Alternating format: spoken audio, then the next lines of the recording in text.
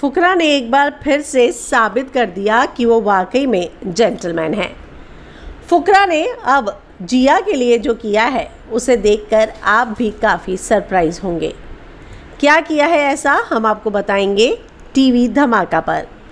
लेकिन अगर आपने हमारे चैनल को सब्सक्राइब नहीं किया तो सबसे पहले सब्सक्राइब कर लीजिए। दरअसल यहाँ पर अब जिया सुबह सुबह पाउडर एरिया में जब तैयार हो रही थी तो उसके तैयार होने के बाद वो अपना सामान जो है नीचे रख कर चली गई, क्योंकि ऊपर उसका हाथ नहीं पहुँच रहा था।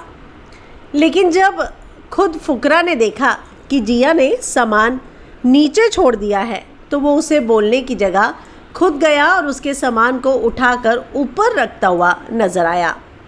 हालाँकि जिया भी उठाकर रख सकती थी, लेकिन फुकरा ने देखा कि सामान थोड़ा भारी है और जिया को उठाना ना पड़े, इसीलिए वो खुद गया और उसने जिया का सामान उठाकर ऊपर रख दिया। हमने इससे पहले भी देखा है कि कई बार जब वीकेंड का वार के कपड़े आते हैं या कोई सामान आता है तो अगर कोई भी लड़की वो सामान उठा रही हो, भले ही उसका खुद का पर्सनल भी क्यों ना हो, तुरंत दौड़कर फुकरा जाता है और सामान उठाने में मदद करता है। पिछले वीकेंड का वार भी जब मनीषा रानी के कपड़े आए थे तब मनीषा रानी को वो बोलता हुआ नज़र आया था कि अरे, तू ये सब मत कर, मैं कर लूँगा और मैं हूँ ना, तू मुझे बोल देता। तू अपने आप क्यों करती है इतना सामान? क्यों उठाती है तू अपने आप? मुझे बता दिया कर।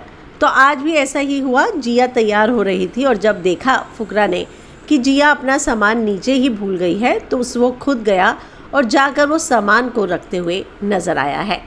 तो ये है फुकरा जो वाकई में बार बार इस बात को प्रूव करता है कि वो जेंटलमैन है।